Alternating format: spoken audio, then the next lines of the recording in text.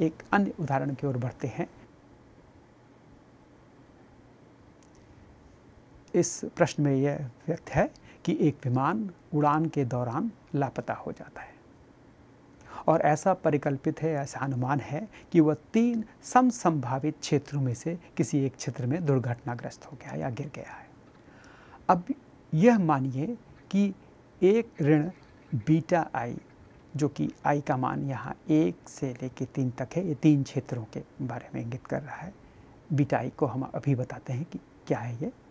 यह दर्शाता है कि आईवे क्षेत्र में विमान के होने और उसी क्षेत्र में खोजे जाने पर पाए जाने की प्रायिकता को।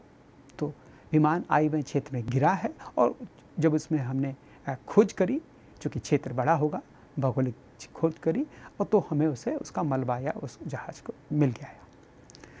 तो अब यह ज्ञात है कि विमान की आईवे क्षेत्र एक में विमान की खोज असफल रही।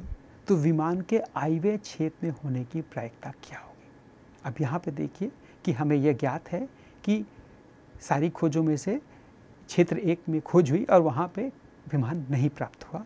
अब प्रायिकता क्या होगी विमान की आई वे क्षेत्र में, जहाँ आई का मान एक से लेकर तीन होगा? क्या? शुरुआत में तो सारे क्षेत्र में विमान के गिरने की संभावना समान है तो एक बटा तीन ही संभावना होगी उसकी लेकिन जब हमको ये पता है कि पहले क्षेत्र में विमान नहीं खोजा जा पाया तो क्या ये प्रायिकता क्या होगी या कुछ परिवर्तित होगी या वही रहेगी?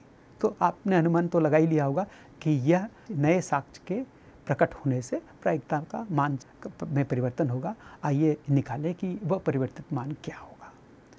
तो जहाँ तक स्थिरांक बीटा आई का है बी ए स्थिरांक बीटा आई अनदेखी की प्रायिकता है, जो कि भौगोलिक या अन्य पर्यावरणिक परिस्थितियों के कारण इंगित क्षेत्र, यहाँ मतलब आई हुए क्षेत्र में हुई खोज में होने वाली अनदेखी मीन्स वह विमान होने के बाद भी उस विमान को खोजा नहीं जा पाया, क्योंकि उसकी, उस क्षेत्र की भौगोलिक या पर्यावरणीय परिस्थिति ऐसी थी कि किसी वजह से विमान का मलबा नहीं देखा जा सका।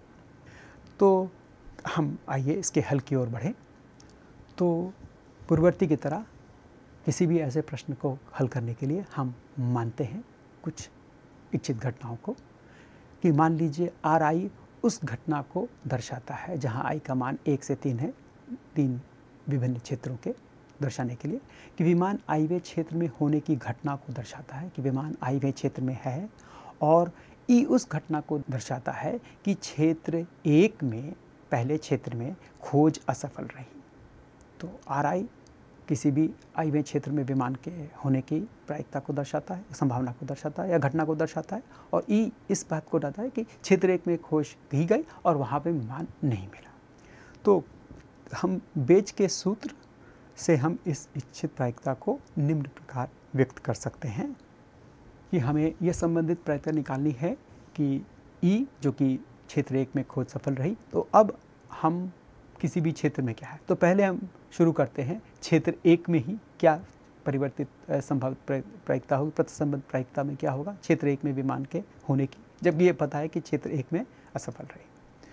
तो इस प्रायिकता को बेच सूत्र से हम निम्न प्रकार व्यक्त कर सकते हैं, जिसे कि जो आपका भाजक पद है, उसको भी हम और विस्तृत रूप में लिख सकते हैं कि जो कि एक संपूर्ण प्रायिकता का नियम भी कहलाता है।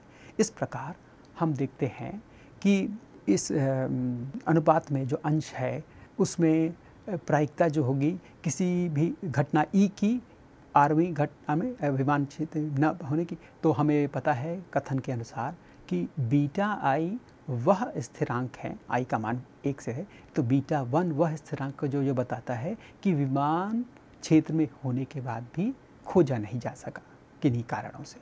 तो उस यह अनदेखी की प्रायिकता को दर्शाता है, जो इसका मान बीटा आई है। तो यह है कि विमान क्षेत्र एक में ही है, लेकिन ई वो घटना है कि वो क्षेत्र एक में खोज असफल रही। तो यह प्रायिकता बीटा आई से है, जो कि प्रायिकता ई जब ज्ञात हो, आर वन के बराबर है। और हमें पहले से ही पता है कि जो कि विमान के तीन क्षेत्रों में गिरने की संभावना बराबर है तो किसी एक क्षेत्र में विमान के होने की प्रायिकता एक का मान एक बटा तीन होगा। इसी तरह, अगर हम भाजक पद की ओर बढ़ें तो देखते हैं कि अगर विमान क्षेत्र एक में है तो विमान की प्रतिसंबद्ध प्रायिकता की उसकी घटना एक में खोज असफल रही, का मान हमेशा पूर्ण होगा या एक होगा। इसलिए प्रायिकता घटना ई की आर टू और आर थ्री के लिए का मान एक होगा, पूर्ण होगा, क्योंकि वो वो जब एक में है तो दूसरे क्षेत्र और तीसरे क्षेत्र में प्रायिकता है तो उसके न होने की जो है वो एक के बराबर होगी। तो इस प्रकार हम देखते हैं कि जो भाजक पद है उसको हम व्यक्त कर सकते हैं बीटा वन गुणित एक बटा तीन धन एक बटा तीन, धन एक बटा तीन, जिसे कि हम अगर सरलीकृत करें तो इस प्रायिकता को हम व्यक्त कर सकते हैं, बीटा वन भागा बीटा वन धन दो के। तो ये तो प्रायिकता हो गई। ये प्रायिकता किस पे निर्भर करती है कि इस, मैंने इस दशा में कि ये अनदेखी की प्रायिकता क्या है? तो उसी के संबंध में हमने ये प्रायिकता का ज्ञात किया है। आइए देखें कि दूसरे क्षेत्र जो बचे हैं जहाँ की दूसरी और तीसरी क्षेत्र उनकी प्रायिकता में क्या परिवर्तन होता है? तो अब अगर हम प्रायिकता निकालें उन दोनों घटनाओं की, जो कि क्षेत्र दो और तीन की प्रति संबंध प्रायिकता है, जबकि क्षेत्र एक में खोज असफल रही हो तो पुनः बेच का इस्तेमाल करते हुए इन प्रायिकता को पूर्ववर्ती पद की तरह हम व्यक्त कर सकते हैं। एक भागा बीटा वन धन के। तो यह प्रायिकता चूँकि स्थिरांक बीटा के संबंध में आई है, इसलिए इसकी हम कुछ व्याख्या करते हैं आगे के। तो आइए इन परिणामों पर कुछ व्याख्या करें। पहला, ध्यान दें कि विमान किसी क्षेत्र जे में होने की प्रतिसंबंध प्रायिकता जब यह ज्ञात हो कि क्षेत्र एक में, यहाँ जे बताता है कि जे का मान जो है, जो एक दो और तीन है, क्षेत्र एक में खोज असफल रही है, अधिक है। प्रारंभिक प्रायिकता के विमान के जेवे क्षेत्र में होने से जबकि जे का मान एक नहीं है। मैंने जे यहाँ पे क्षेत्र दो और तीन को इंगित कर रहा है। और कम है प्रारंभिक प्रायिकता के जब जे का मान एक है।